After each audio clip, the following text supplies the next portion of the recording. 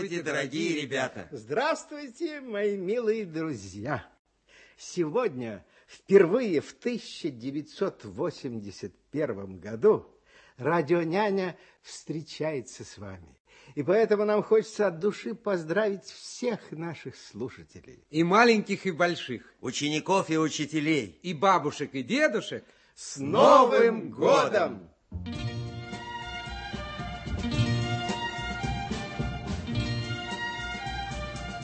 Во всех домах на всей планете Сегодня с самого утра Друг другу взрослые и дети Желают счастья и добра.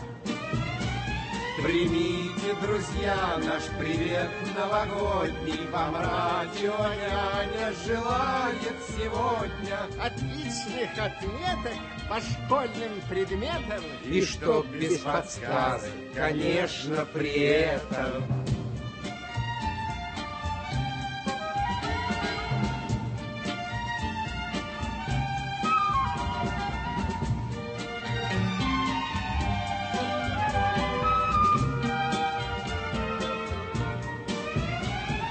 Примите, друзья, наш привет новогодний Вам радио няня желает сегодня Побольше друзей и товарищей новых Ох, чуть не забыли.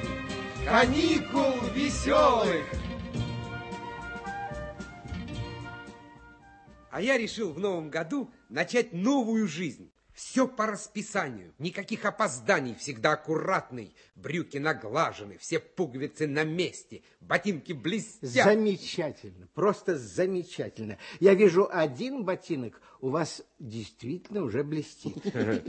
От души желаю вам в новом году почистить и второе. Спасибо, послезавтра почищу. Позвольте, а почему же не завтра? Завтра у меня по расписанию отгладить вторую брючину. А, я, Николай Владимирович, в новом году всем покажу, что такое вежливость и уважение к старшим. Прекрасно. Да я уже прекрасно. сегодня в автобусе одну бабушку на свое место усадил. Я говорю, садитесь, бабушка, в ногах правды нет. А она так застеснялась, что даже к выходу стала пробираться. Пришлось ее почти с силой посадить. Такая скромная бабушка оказалась. А уж как благодарила потом. Я, говорит, сынок, тебя век не забуду. Из-за тебя свою остановку проехала. Ну что ж, как говорится, первый блин комом. Но ваше желание стать вежливым, Лева, меня очень радует. Николай Владимирович, а вы что решили сделать нового в этом году? Да. Наверное, что-нибудь грандиозное задумали, да? Как вам сказать? Э, Видите ли, честно говоря, есть у меня одна заветная мечта. Какая? Да-да-да. Я решил покорить одну горную вершину. Здорово. А вам не страшно? Страшно. Конечно, страшно. Я и, друзья мои, уже несколько раз подходил к ее подножью, но не решался. А в этом году я решил во что бы то ни стало победить свой страх. Эта гора... Джамалунгма. Нет, Килиманджаро. не совсем. У этой горы пока еще нет названия. Я назову ее Пик Радионяни. Возьмите нас с собой, Николай Владимирович. Возьмите, Николай Владимирович. Где она находится, эта гора? В Азии, да? Да нет, нет, у меня во дворе. Представляете, друзья мои, мы заберемся на гору и вниз. На санках. Да? Нет, еще лучше на фанере. А что? А что такое? Вы думаете, только детям можно кататься на фанере? Нет, пусть в новом году взрослые почаще чувствуют себя детьми, и пусть всем нам в любом деле помогает шутка и хорошее настроение.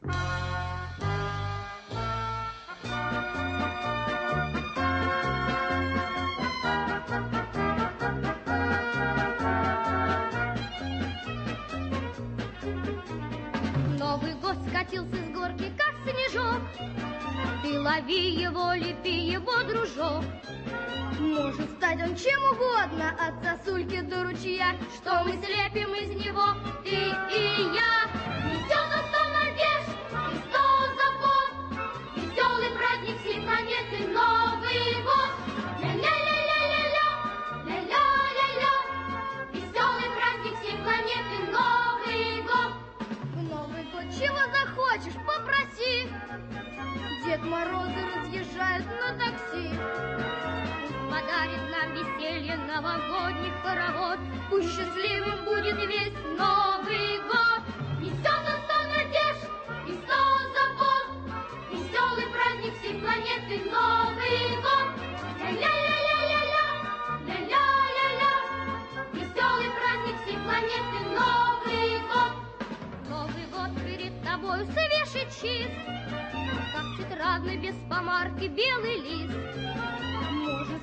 Кляксой, может песенкой, друзья, Что напишем мы на нем, ты и я. Несет он сто надежд сто забот, Веселый праздник всей планеты Новый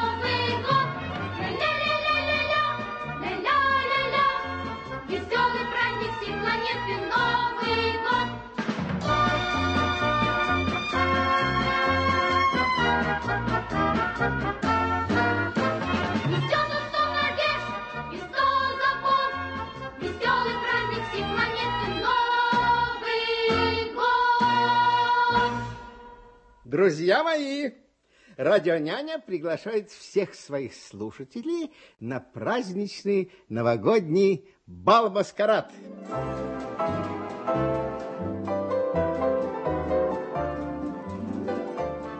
В вихре танцев проносятся маски, кружатся пары. Царевна-лягушка с крокодилом Геной, Чебурашка с бабой Егой. Черепаха Тортила с Карабасом-Барабасом. Минуточку внимания.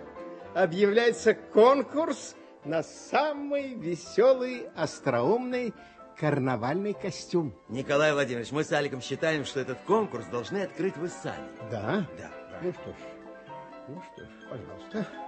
Попробуйте угадать, в костюме какого героя я сейчас появлюсь. Крибля, крабля, бумс. Ой, смотри. Ой, что это? Николай Владимирович летает по студии. Да. Знаешь что, по-моему, это жук. Жук? Ну да. А почему у него тогда на спине пропеллер? Не знаю. Вертолет, это вот кто. Все, все, Николай Владимирович, мы вас разгадали. Вы вертолет. Да нет, нет, друзья мои, придется мне намекнуть вам.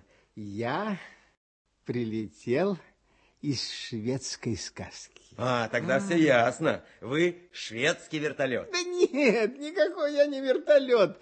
Я Карлсон. Карлсон. Ой, смотрите, это тоже участники нашего конкурса? Где вот эти? Да. Да, да, они придумали себе очень интересные костюмы. Заяц нарядился Дедом Морозом, а волк в костюме Снегурочки. Здорово. Здравствуйте, дорогие ребята! Э, Дедуля, это я, твоя внучка Снегурочка. Ой, ой, задержите, задержите его! Попробуем. Здравствуй, Снегурочка. Здрасте. А вы кто? Мы радионяня. А я нянь не ем. Мне заяц нужен. Здесь никакого зайца нет. Здесь вот только один Дед Мороз. Какой дед? С ужами и хвостиком? Э, Он-то мне и нужен. Ну, дед, сейчас ты у меня запоешь. Запою, подумаешь, а ты мне еще подпевать станешь.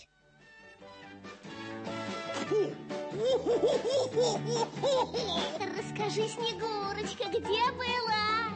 Расскажи-ка, милая, как дела? И за тобою бегала Дед Мороз, пролила немалые горьких слез. А ну-ка, давай-ка, плясать выходи, Дед Мороз, нет, Дед Мороз, нет, Дед Мороз, погоди.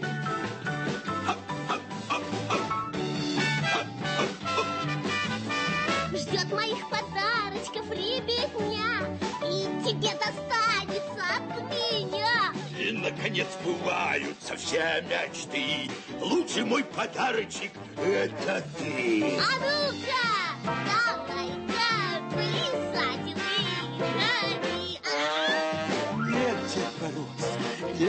Дед Мороз, нет, Дед Мороз, погоди.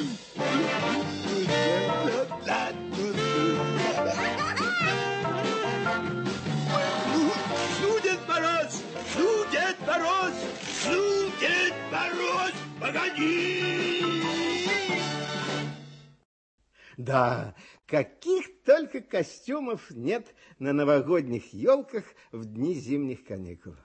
Здесь встречаются герои из всех популярных сказок.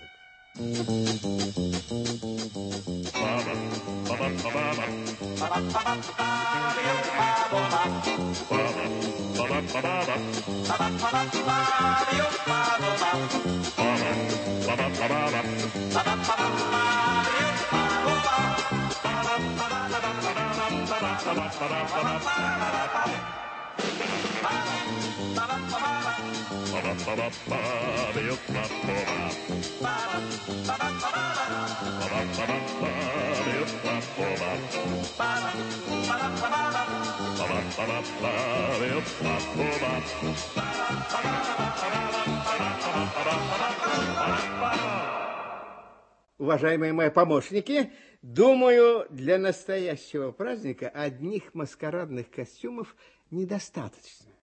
Ведь ребята обычно готовятся к новогодним утренникам, разучивают стихи, песни, танцы. А вы? И мы с Левой готовились. Мы басню прочитаем. Мы, между прочим, ее сами сочинили. Правда? Да. Так что же вы молчали? Читайте скорее, читайте. Давай, давай. Басня. В каникулы в лесу зимой медведь гостей позвал домой. За дружеским столом немного поболтать, попить чайку, попеть, потанцевать. Пришли осел, козел, мартышка. А где ж хозяин, косолапый Мишка? Он только прорычал. Входите поскорей, идет по телевизору хоккей. Гостей хоккей не занимал, но каждый гость прекрасно знал, культурным хочешь быть, терпи, сиди, за шайбу и следи. Скучают гости, спать хотят, уже осел с козлом храпят, Уже зевает вслух мартышка. а счастлив лишь хозяин Мишка. В иных домах порой бывает, что о гостях хозяин забывает. Мораль, друзья, нужна едва ли. И вы в таких домах бывали. И чувствовали в доме том Себя козлом, мартышкой и ослом. Молодцы. Молодцы, совсем неплохо, честное слово. Спасибо. И главная тема важная и нужная. Ведь гостей надо уметь принимать так, чтобы им хотелось прийти к вам еще раз и пригласить вас к себе.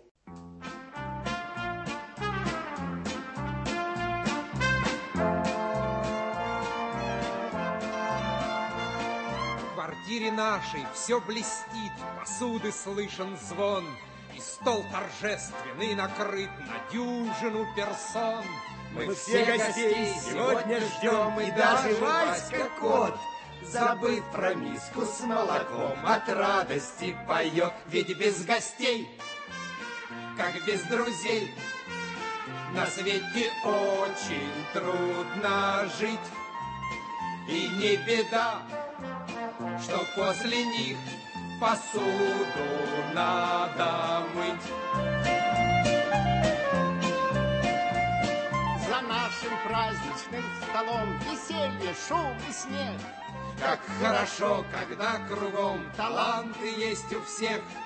Один нам барыню сплясал, Другой нам песню спел, Стихи нам третий прочитал. четвертый много ел. Ведь без гостей, как без друзей, на свете очень трудно жить. И не беда, что после них посуду надо мыть.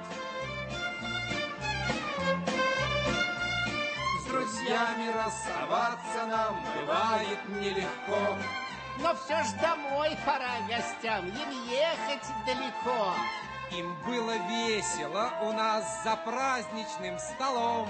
И значит, в следующий раз мы в гости к ним придем, ведь без гостей, как без друзей, на свете очень трудно жить. И не беда, что после них посуду надо мыть. Ведь без гостей, как без друзей, на свете очень трудно жить. И не беда, что после них посуду надо мыть.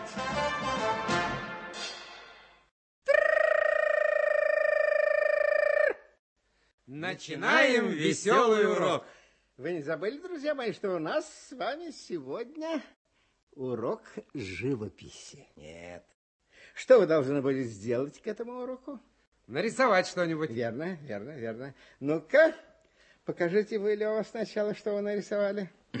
Вот, пожалуйста. Так, посмотрим. Посмотрим. Что ты смеешься? Ну что смеешься? Подождите, подождите, что-то знакомое. Стало быть, новогодняя елка, а под ней, под ней какие-то богатыри? Да, три богатыря. Три богатыря. Три. А, это же Васнецов, богатыри. Ну, простите, почему же, почему же у вас Илья Муромец в очках, а? Да это не Илья Муромец. А кто же? Это вы, Николай Владимирович. Видите, вместо копья у вас микрофон. А, интересно, интересно. Ну-ка, ну-ка, а рядом на конях это мои уважаемые помощники, Лева и Алик. да? Точно. Только у Лева вместо шлема ушанка и в руке портфель. А, а я в шлеме. Ну что? Да, но шлем хоккейный. Любопытно. А у меня лошадь такая красивая. а? Спасибо большое. Только как я потом с нее слезу, а? И вообще, почему э, вы всех нас посадили на лошадей? Сейчас объясню. Понимаете, Николай Владимирович, мне очень хотелось нарисовать нас всех вместе.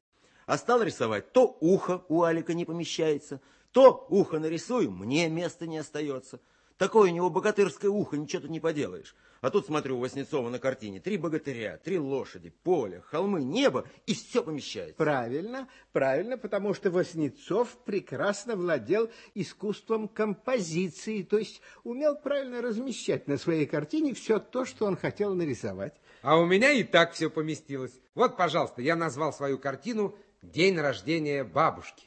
Да, да, да, действительно, у вас тут и праздничный стол, и масса гостей, и кошка, даже кошка тут, а? А, а вот это, вероятно, бабушка, да? Нет, э, это я. Вы? Ах, извините, извините. Вот это бабушка, да? Нет, э, это дядя Федя. Ну вот это уж точно бабушка. Да, бабушка, только не моя. Это соседская бабушка. Позвольте, но, но где же, в конце концов, ваша бабушка, а? А ее здесь нет, она на кухне. Это оригинально. Мне все-таки кажется, что главным в картине «День рождения бабушки» должна быть сама бабушка, а не дядя Федя, уж тем более не кошка, которая у вас сидит на переднем плане так важно, как будто это у нее день рождения. Искусство композиции – это не только умение разместить все предметы на картине, но и выявить то главное, что художник хочет показать зрителю. Теперь дальше. Вы, конечно, знаете, что бывают художники-портретисты, пейзажисты, маринисты. Это те, которые море рисуют. И богатыристы. Кто-кто? Богатыристы. Ну, это которые рисуют богатырей, как Лева. Богатыристы. А ты-то сам каким художником хочешь стать? Я портретистом. Мечтаю нарисовать портрет красивого румяного яблока. Позвольте, по-моему, вы что-то путаете. Конечно, путает. Какой же это портрет? Яблоко – это пейзаж. Минуточку, минуточку, давайте разберемся. Портрет – это изображение какого-то человека. Ну, вы помните картину Серова «Девочка с персиками»? Помним, особенно персики. Так вот, картина «Девочка с персиками» – это и есть портрет. А теперь представьте, что девочка куда-то вышла. Куда вышла? Ну, ну, ну, не знаю куда, ну, предположим, за водой, ну, помыть персики. Итак, на картине остались одни персики. Запомните, пожалуйста, это натюрморт в переводе с французского «неживая природа». Ясно? Ясно. Теперь пусть наши персики висят на деревьях, а деревья растут в саду. Как будет называться эта картина? Пейзаж. О, молодец, молодец. Вы уже начинаете разбираться в живописи. Фантазируем дальше. В этом персиковом саду появились мальчишки. Они срывают персики с деревьев. Как называется такая картина, а? Картина называется «Сторож спит». Нет, друзья мои, это так называемая жанровая картина. В ней изображена сценка из жизни. А я, а я как-то попал в такую же жанровую картину. Там, правда, были не персики, а яблоки. Да я помню. Николай Владимирович, вы себе не представляете, какой у него был вид. Красные уши, порванные штаны, а в зубах зеленое яблоко. Такой натюрморт. Натюрморт, ты бы на себя посмотрел, когда бежал от сторожа. Волосы от ужаса дыбом, на голове такой пейзаж. Что я слышу? Пейзаж, натюрморт. Друзья мои, по-моему, урок пошел вам на пользу. И думаю, мы еще лучше станем разбираться в живописи, если споем вместе эту песенку.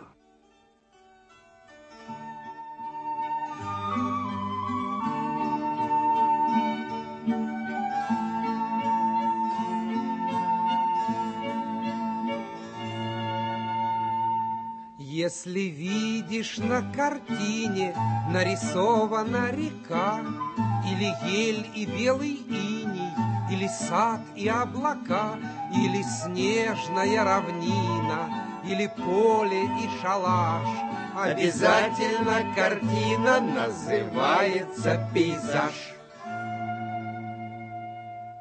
Если видишь на картине чашку кофе на столе, или морс в большом графине, или розу в хрустале, или бронзовую вазу, или грушу, или торт, или все предметы сразу, знай, что, что это натюрморт. Если видишь, что с картины смотрит кто-нибудь на нас, или принц в плаще старинном, или в робе верхолаз, летчик или балерина, или Коля мой сосед. Обязательно картина называется портрет. Веселый урок окончен. Ну что ж, друзья, нам остается только сказать несколько слов о тех, кто подготовил сегодняшнюю передачу. Вернее, не сказать, а спеть.